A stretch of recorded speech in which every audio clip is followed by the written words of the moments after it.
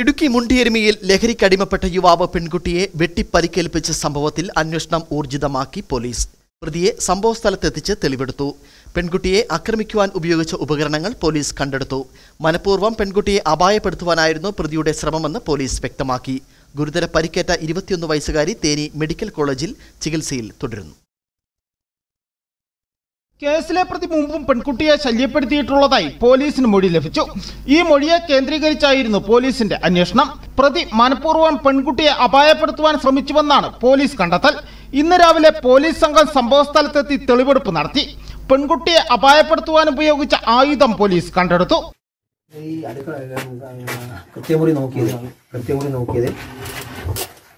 പ്രതിക്കെതിരെ ഗുരുതര വകുപ്പുകൾ ഉൾപ്പെടുത്തിയാണ് പോലീസ് കേസ് രജിസ്റ്റർ ചെയ്തിട്ടുള്ളത്. ഇതേസമയം ആക്രമണത്തിൽ പരിക്കേറ്റ പെൺകുട്ടി തേനി മെഡിക്കൽ കോളേജിൽ ചികിത്സയിൽ തുടരുകയാണ്. പെൺകുട്ടിയുടെ വിശദമായ മൊഴി രേഖപ്പെടുത്തുവാൻ പോലീസ് സംഘം തമിഴ്നാട്ടിലേക്ക് പുറപ്പെട്ടു. ഇന്നലെയാണ് വീടിന്റെ കഥക ചവിട്ടി തുറന്ന് ആക്രമി പെൺകുട്ടിയെ ആക്രമിക്കുവാൻ ശ്രമിച്ചത്. ആക്രമണത്തിനെ പെൺകുട്ടി പ്രതിരോധിക്കുന്നതിനിടയിൽ വാക്കത്തി കൊണ്ട് പെൺകുട്ടിയുടെ തലയ്ക്ക് നേരെ ഈ വാവ് വെട്ടുകയായിരുന്നു. കൈകൊണ്ട് പെൺകുട്ടി വെട്ടു തടയുന്നതിനിടയിൽ വിരലുകൾക്കും തലയ്ക്കുമാണ് പരിക്കേറ്റത്. നാട്ടുകാർ തടഞ്ഞു വെച്ച പ്രതിയെ പോലീസ് അറസ്റ്റ് ചെയ്യുകയായിരുന്നു. വീട്ടിൽ.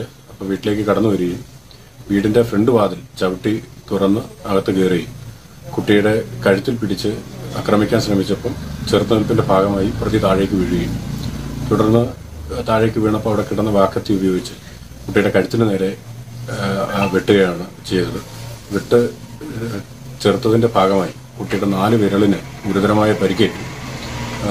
നെടുങ്കണ്ടം താലൂക്ക് ആശുപത്രിയിലും തുടർന്ന് തേനി മെഡിക്കൽ കോളേജ് വിദഗ്ധ ചികിത്സയ്ക്ക് വേണ്ടി തേനി മെഡിക്കൽ കോളേജിലേക്ക് കൊണ്ടുപോകുന്ന സാഹചര്യം ഉണ്ടായി.